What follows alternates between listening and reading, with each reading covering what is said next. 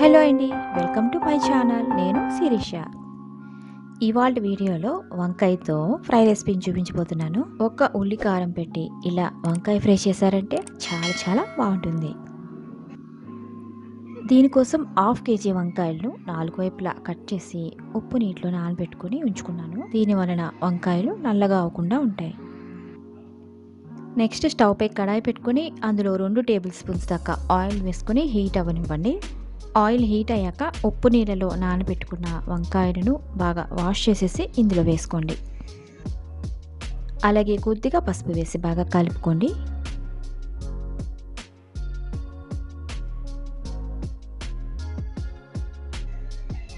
ఇప్పుడు మూత పెట్టి మధ్య మధ్యలో అటు ఇటు తిప్పుకుంటూ లో ఫ్లేమ్లో వంకాయలన్నీ మెత్తగా అయ్యేంత వరకు మగ్గించుకోవాలి. అవి మగ్గేలోపు ఉల్లికారం తయారు చేసుకుందాం. ఒక మిక్సీ జార్ తీసుకోండి. అందులో రెండు పెద్ద ఉల్లిపాయలను కట్ చేసుకొని వేసుకోండి. అలాగే ఒక టమాటో రుచికి సరిపడా ఉప్పు టూ టీ స్పూన్స్ కారం వన్ టీ స్పూన్ ధనియాల పౌడర్ హాఫ్ టీ స్పూన్ జీలకర్ర పౌడర్ వేసి మరి మెత్తగా కాకుండా కచ్చాపచ్చాగా బ్లెండ్ చేసుకొని పక్కన పెట్టుకోండి. ఇలా వంకాయలన్నీ సాఫ్ట్గా మగ్గిపోయిన తర్వాత పక్కకు తీసేసుకోండి. ఈ వంకాయల్లో ఉల్లికారంని స్టఫ్ చేసి చేసుకోవచ్చు లేదంటే ఇలా కూడా చేసుకోవచ్చు. ఇప్పుడు ఇదే కడాయిలో వన్ టేబుల్ స్పూన్ ఆయిల్ వేసుకోండి. ఇందులోనే మూడు పచ్చిమిర్చి చీలికలు వన్ టేబుల్ స్పూన్ అల్లం వెల్లుల్లి పేస్ట్ వేసి కాస్త ఫ్రై చేయండి.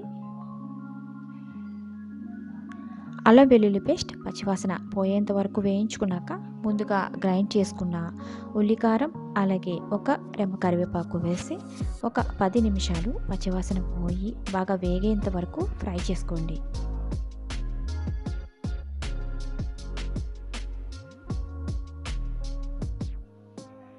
ఇలా బాగా దగ్గరికి అయిన తర్వాత ఒక టేబుల్ స్పూన్ చింతపండు రసం వేసుకోండి. అంతా బాగా మిక్స్ చేసుకొని ఆ తర్వాత హాఫ్ కప్ దాకా వాటర్ వేసుకొని ఒక రెండు నిమిషాల పాటు ఉడికించుకోండి.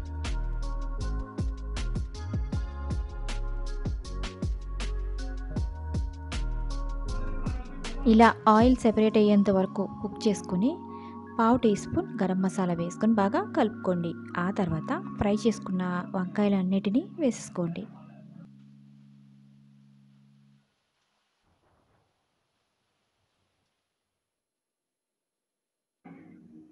ఒకసారి బాగా కలుపుకొని మూత పెట్టేసి ఈ వంకాయలలో ఉన్న వాటర్ అంతా ఎగిరిపోయి దగ్గరికి అయ్యేంత వరకు లో ఫ్లేమ్లోనే కుక్ చేసుకోండి. అడుగు మాడకుండా మధ్య మధ్యలో కలుపుకుంటూ ఫ్రై చేసుకోండి. ఇలా నాన్ స్టిక్ కంటే కూడా ఐరన్ కడాయిలో వండితే దాని రుచి మరింత బాగుంటుంది.